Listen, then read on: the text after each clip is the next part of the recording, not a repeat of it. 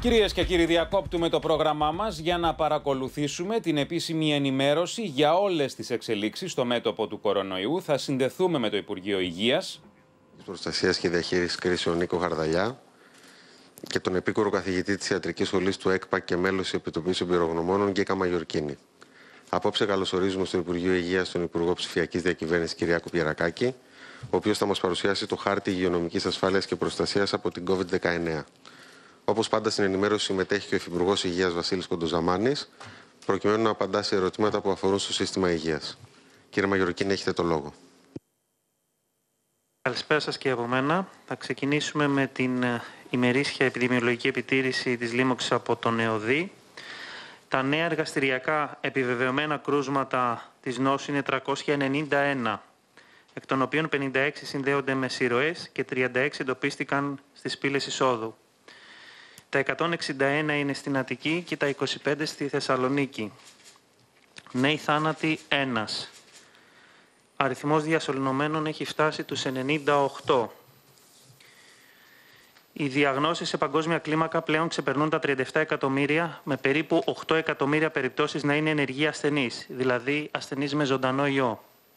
Από αυτούς τους ασθενείς, περίπου 70.000 βρίσκονται σε κρίσιμη κατάσταση και παλεύουν έναν άνισο αγώνα για τη ζωή τους περίπου το 8% από αυτούς τους ασθενείς που είναι σε κρίσιμη κατάσταση, δηλαδή περίπου 5 με 6.000 ασθενείς, θα καταλήξει εντός του επόμενου 24 ώρου. Πολλές χώρες της Ευρώπης βρίσκονται σε αυξητική τροχιά του δεύτερου κύματος, με κάποιες χώρες να έχουν προφίλ επιτάχυνσης, όπως η Γαλλία, το Ηνωμένο Βασίλειο, η Ολλανδία, το Βέλγιο, η Πολωνία και ίσως και η Αυστρία. Χαρακτηριστικά στο Βέλγιο, που έχει παρόμοιο πληθυσμό με την Ελλάδα, χθες καταγράφηκαν περισσότερες από 5.000 διαγνώσεις. Επίσης, στη Γαλλία χθες καταγράφηκαν περισσότερες από 18.000 διαγνώσεις, ενώ σειρά μέτρων λαμβάνονται σε μεγάλες πόλεις με σκοπό την ανάσχεση της εκθετικής αύξησης που παρατηρείται τις τελευταίες ημέρες. Σε παρόμοιο ρυθμό κινείται και το Ηνωμένο Βασίλειο καταγράφοντας πάνω από 17.000 διαγνώσεις την χθεσινή ημέρα. Στην απομονωμένη Ισλανδία, με διαγνώσεις λιγότερες από 10 επί, επί Πλέον ο αριθμός των νέων διαγνώσεων έφτασε τις 100 ανά ημέρα, δείχνοντας την ικανότητα επαναφοράς του ιού ακόμα και σε χώρες που είναι εξαιρετικά απομονωμένες. Κάπως θετικά νέα, ωστόσο, φαίνεται να έρχονται από χώρες όπως η Ισπανία και η Δανία, στις οποίες μόλις που διαφαίνεται μικρή αλλά σταθερή πτώση στον αριθμό των νέων διαγνώσεων στα πλαίσια πάντα του δεύτερου κύματος.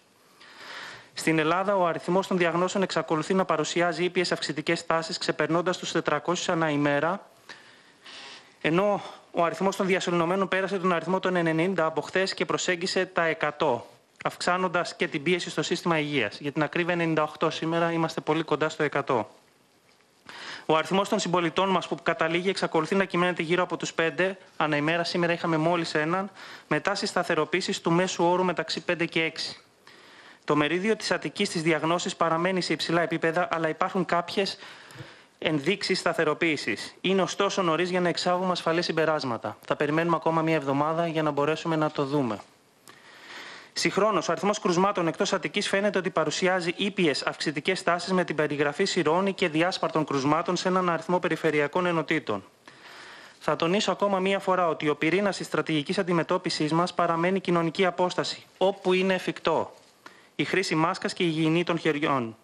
Παρακαλούμε κάθε πολίτη και ακόμα περισσότερο τους επαγγελματίες να προστατεύσουν τους γύρω τους φορώντας τις μάσκες σωστά και με προσήλωση. Η επιδημία διατηρείται σε επίπεδα σχετικά χαμηλά στη χώρα μας, με ήπιες αυξομοιώσεις αλλά εκτός επιθετικής αύξησης χάρη στη συνολική προσπάθεια που καταβάλουμε όλοι μας. Χωρίς αυτή την προσπάθεια, την οποία και πρέπει να εντείνουμε όλοι μας, η επιδημία μπορεί να μπει σε επιθετική φάση που ήδη βλέπουμε σε άλλες ευρωπαϊκές χώρες. Στο θεραπευτικό πεδίο, τέλος, έχει ενισχυθεί σε παγκόσμιο επίπεδο το ενδιαφέρον για την αποτελεσματικότητα των μονοκλονικών αντισωμάτων, τα οποία και αναφέραμε την προηγούμενη Παρασκευή. Η θεωρητική βάση αυτών των θεραπείων έχει μεγάλη ιστορία επιτυχημένων θεραπευτικών πρωτοκόλων στην κλινική ιολογία. Με βάση λοιπόν τις γνώσεις που έχουμε για τις υγιεινεί λοιμώξεις, η αποτελεσματικότητα των αντισωματικών θεραπείων μπορεί να είναι εξαιρετική όταν αυτά χορηγηθούν στα πρώτα στάδια της νόσου. Να σας πω ένα χαρακτηριστικό παράδειγμα για το οποίο είμαστε υπερήφανοι στην ιατρική, ε, στην οποία φαίνεται ότι η θεραπεία των αντισωμάτων όταν χορηγηθεί πρώιμα και έγκαιρα είναι η θεραπεία της λύσας. Μια ιογενούς λίμωξης που ξέρουμε ότι έχει 100% θνησιμότητα. σε άτομο που έχει εκτεθεί στον ιό, συνήθως με δάγκωμα μολυσμένου ζώου, όταν χορηγηθούν τα αντισώματα εγκαίρως, η πιθανότητα να πεθάνει κάποιος πέφτει στο 0%. Από την άλλη, το προφίλ ασφάλειας όλων αυτών των αντισωματικών θεραπείων είναι εξαιρετικό. Οι συζητήσεις για πρώιμη πρόσβαση σε τέτοιες θεραπείες έχουν ήδη ξεκινήσει και όχι μόνο από μία εταιρεία. Σε κάθε περίπτωση η διαθεσιμότητά τους όμως δεν θα είναι άμεση ή σε μεγάλες ποσότητες για το άμεσο για το αμέσως επόμενο διάστημα. Είναι όμως ένα βήμα σημαντικό μπροστά στο μακρύ δρόμο που έχουμε ακόμα να διανύσουμε. Σας ευχαριστώ πολύ και θα είμαι διαθέσιμος στο τέλος για όποιες ερωτήσεις. Ευχαριστούμε κύριε καθηγητά. Το λόγο έχει ο κύριος Χαρδαλιάς. Καλησπέρα σας από την πολιτική προστασία. Όπως έχουμε πολλές φορές τονίσει, η ενημέρωση των πολιτών είναι ιδιαίτερα σημαντική για την αντιμετώπιση της πανδημίας. Γιατί έχει αξία όλοι να γνωρίζουμε τι πρέπει να κάνουμε, να ξέρουμε ποια μέτρα ισχύουν σε κάθε περιοχή για να μπορέσουμε και να περιορίσουμε την διασπορά του ιού αλλά και να προγραμματίσουμε τις ζωές μας, αποδεχόμενοι ότι μέχρι να βρεθεί το εμβόλιο πρέπει να ζήσουμε με τον ιό και με τα μέτρα προστασίας από αυτόν. Σήμερα λοιπόν όπως είχαμε δεσμευτεί, παρουσιάζουμε μαζί με το Υπουργείο Ψηφιακής Διακυβέρνησης τον χάρτη υγειονομικής ασφάλειας και προστασίας από τη λίμωξη COVID-19, ένα πλαίσιο κατηγοριοποιημένων και στοχευμένων τοπικών μέτρων για την ασφαλή και ομαλή συνέχιση της οικονομικής και κοινωνικής ζωής για όλη την Ελλάδα. Ο χάρτης περιλαμβάνει, όπως έχουμε ήδη αναφέρει, τέσσερα επίπεδα προληπτικών μέτρων και κανόνων για κάθε περιφερειακή ενότητα της χώρας. Εντάσσει δηλαδή τις 74 περιφερειακές ενότητες της Ελλάδας σε επίπεδα υγειονομικής ασφάλειας και προστασίας με αντίστοιχες δέσμες μέτρων που ισχύουν για όλους. Πιο συγκεκριμένα, οι 74 περιοχές της χώρας εντάσσονται στα εξής επίπεδα, είτε στο επίπεδο 1 ετοιμότητας, είτε στο επίπεδο 2 επιτήρησης, είτε στο επίπεδο 3 αυξημένης επιτήρησης, είτε στο επίπεδο 4 αυξημένου κινδύνου. Ο καθορισμός του επίπεδου κινδύνου σε κάθε περιοχή εξαρτάται από την αυξανόμενη ή μειούμενη τάση επιδημιολογικών μεγεθών, όπως ο αριθμός κρουσμάτων ανά 100.000 κατοίκους, των δικτών πληρότητας του συστήματος υγείας, παραδείγματος χάρη χρησιμοποιούμενες απλές κλίνες αλλά και κλίνες μεθ, και των ποιοτικών χαρακτηριστικών της επιδημιολογικής κατάστασης της κάθε περιοχής, όπως αυτά αποτυπώνονται και από τα δεδομένα της εχνηλάτησης αλλά και της συσχέτισης των κρουσμάτων και των επαφών τους. Να σημειωθεί ότι 17 κριτήρια αναλύονται και αξιολογούνται σε καθημερινή βάση προκειμένου να καθοριστεί το επίπεδο συναγερμού κάθε περιοχής. Η εφαρμογή των μέτρων λοιπόν θα πραγματοποιείται σε επίπεδο περιφερειακής ενότητας εκτός αν προκύψουν έκτακτες περιστάσεις που να δικαιολογούν εξαιρέσεις εντός της περιφερειακής ενότητας, δηλαδή σε επίπεδο Δήμου, σύμφωνα με τα πρωτόκολλα του Υπουργείου Υγείας και της πολιτικής προστασίας.